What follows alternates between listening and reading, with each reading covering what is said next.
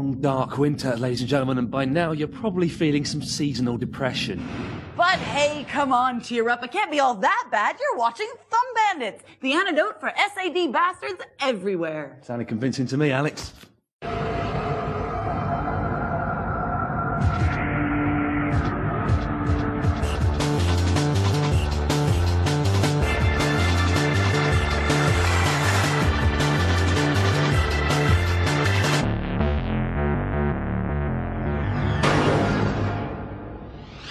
Get ready for a fun fest.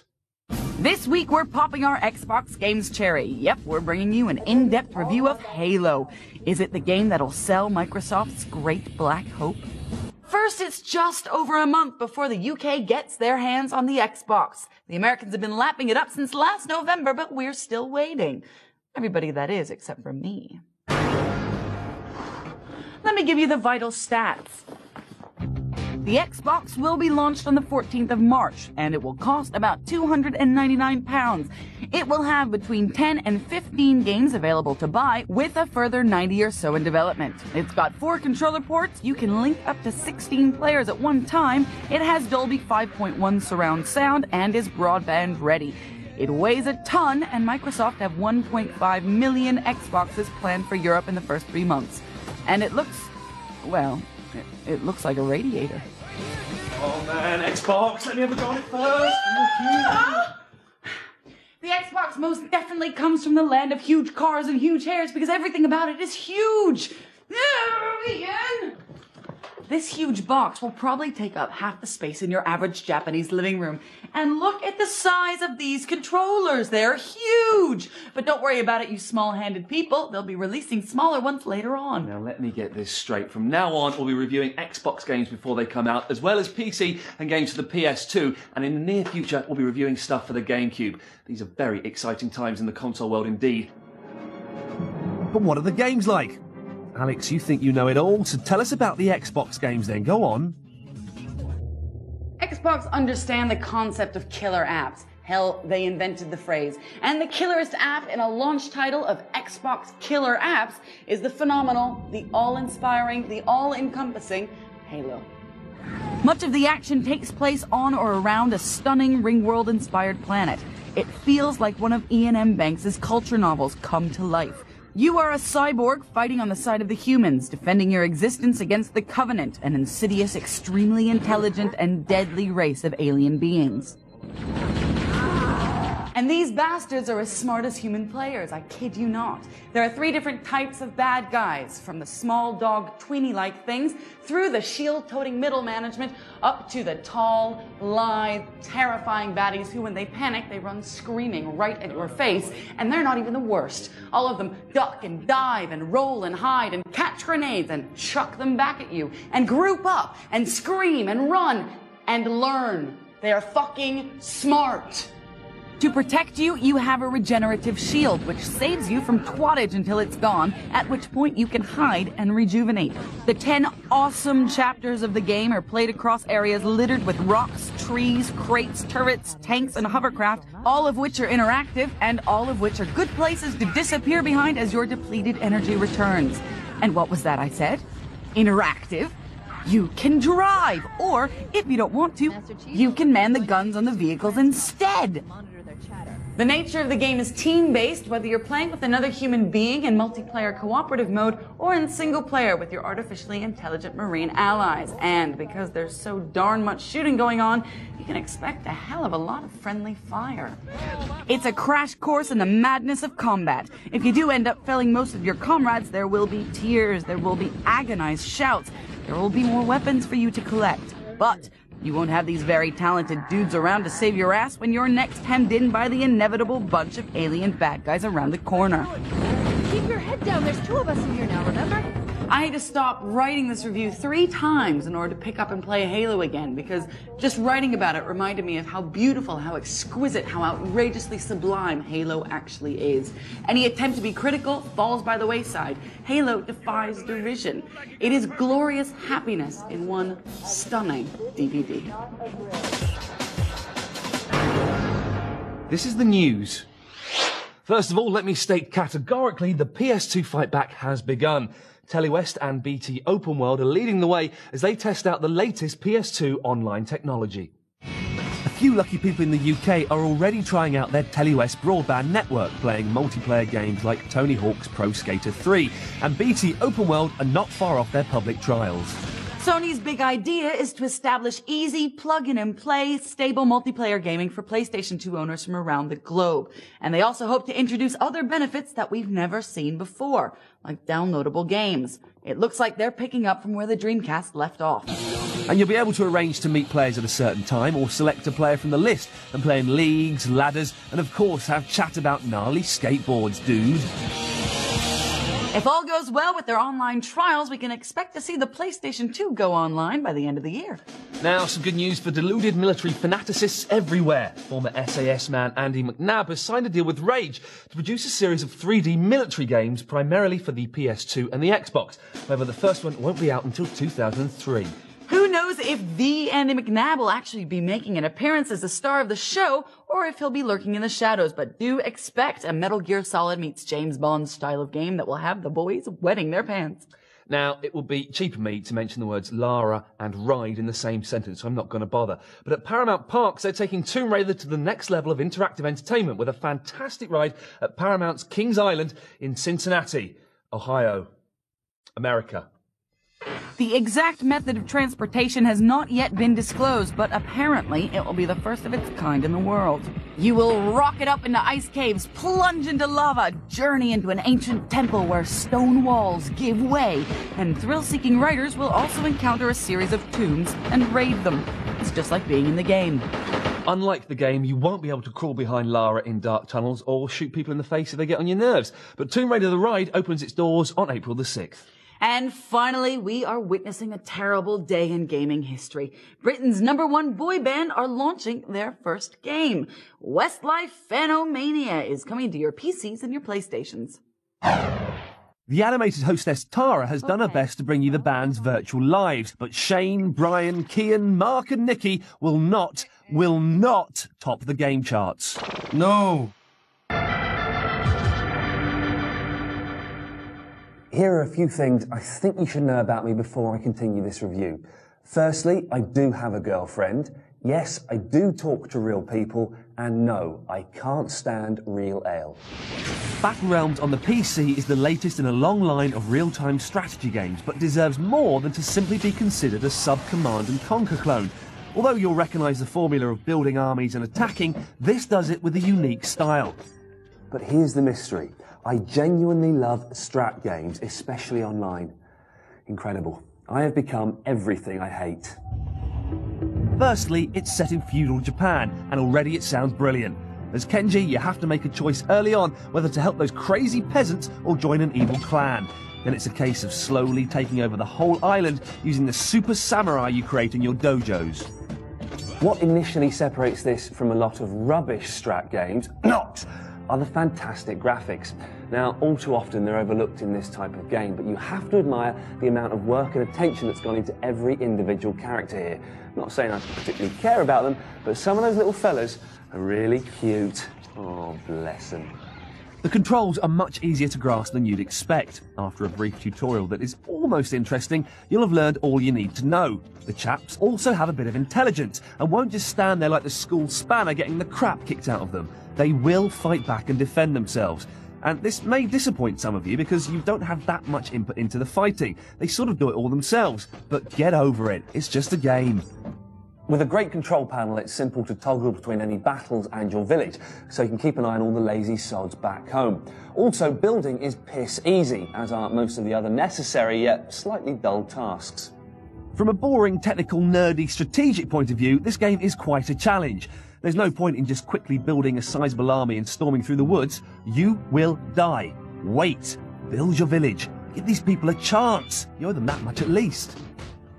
Sounds, colours and details make this an enjoyable game, and it should prove a great introduction to the world of pipes and slippers. But Battle Realms won't be for a lot of hardcore strat heads. It's a bit light. If Command and Conquer is Metallica, then this is definitely Hanson. But hey, I love Hanson. I even saw him live at Wembley Arena once. Make of what you will. Battle Realms is out now for the PC.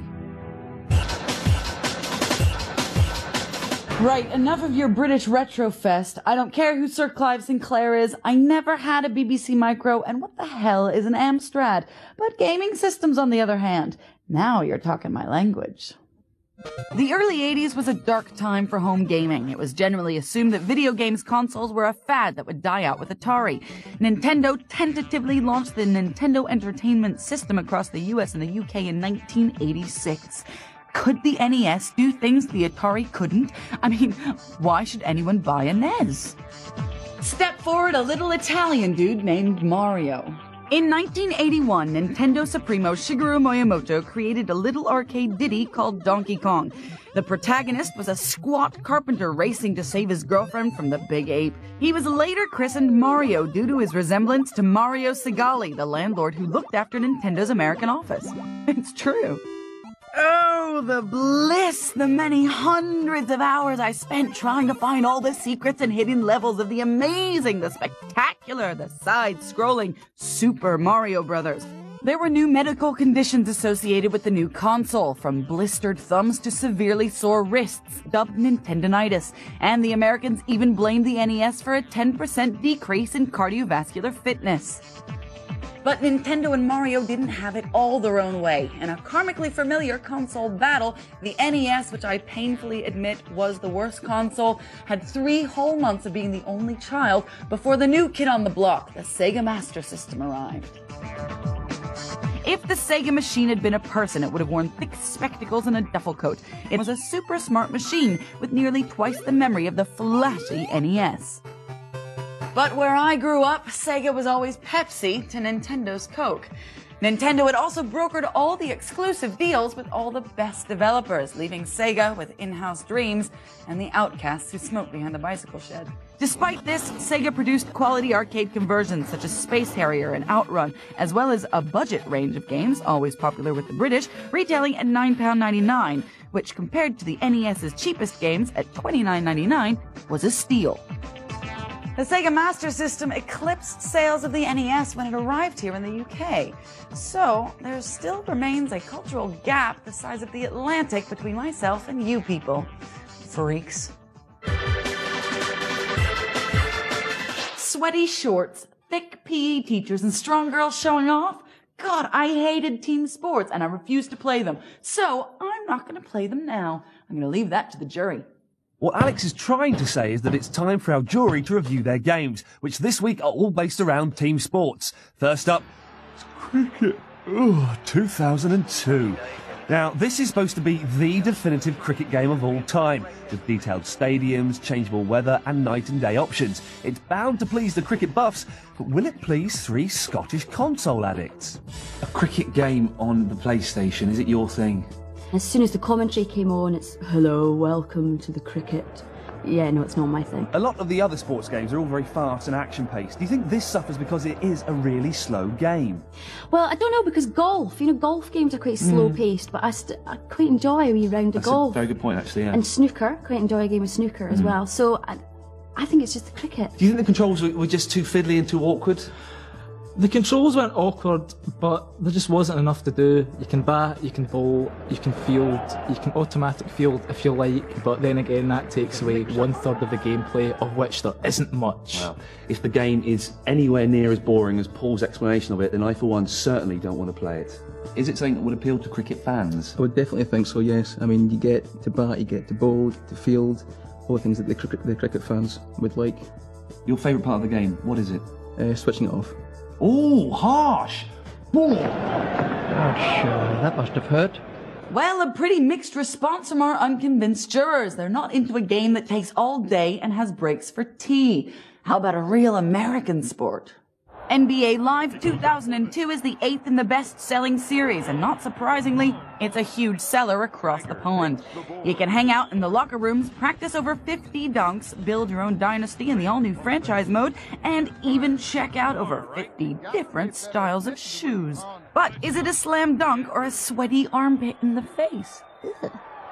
All right, Scott, apparently the gameplay in this game is so good that you can actually feel yourself sweating at home. How did you feel when you were playing it? Well, I don't know about the sweat, thank you. That's, that's much better. Um, but it's certainly very fast paced and frantic.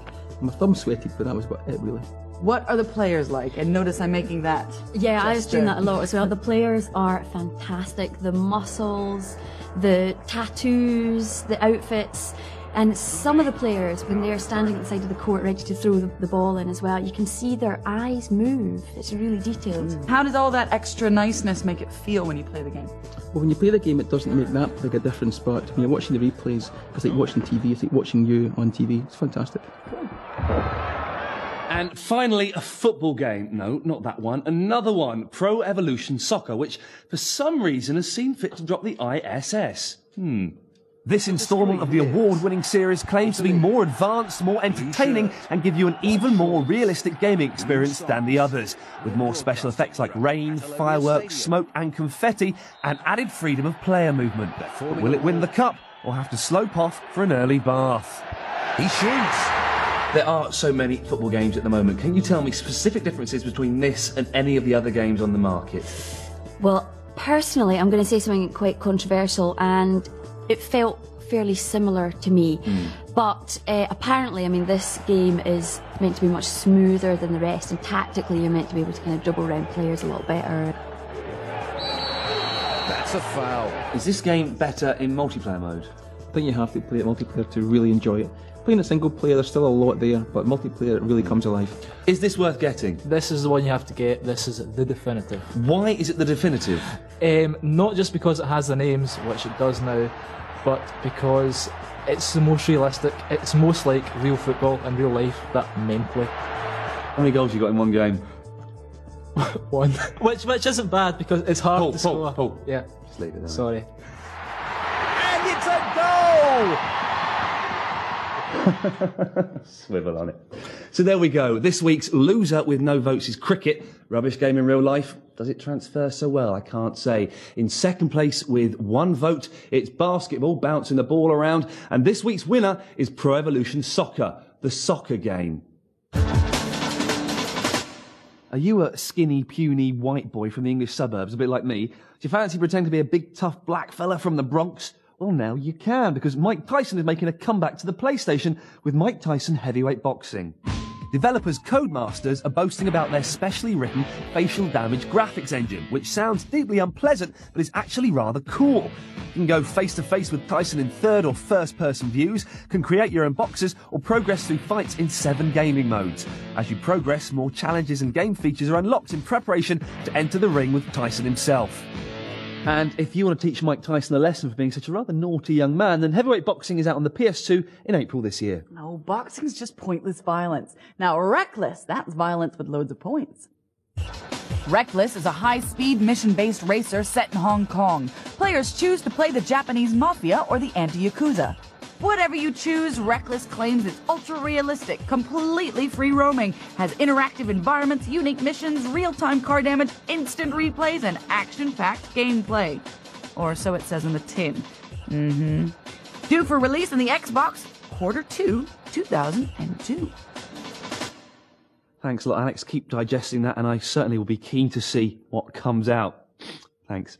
Now, I've noticed that a lot of kids these days are wearing baseball caps, so I'm nearly 100% certain that All Star Baseball is going to be a massive hit on the PS2. There are 30 major league teams and over 700 players with lifelike face textures for superb graphic detail. There's play-by-play analysis with commentary from some guy called Bob Brenly, who's probably famous in America, and all 30 major league baseball stadiums.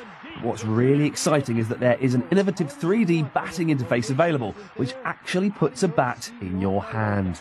No doubt about it, baby. Home run. But before we go, Iain and I are going to have a little bit of fun killing things on screen. When we've done that, you can visit our website at www.channel4.com slash thumbbandits. See ya.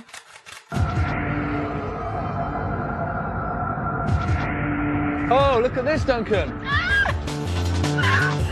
Now we'll get some fucking work done around here, young man.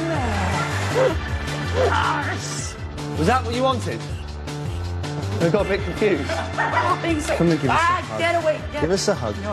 Come and give us a hug. Goodbye. Someone give me a hug. Give me a hug, you fuckers.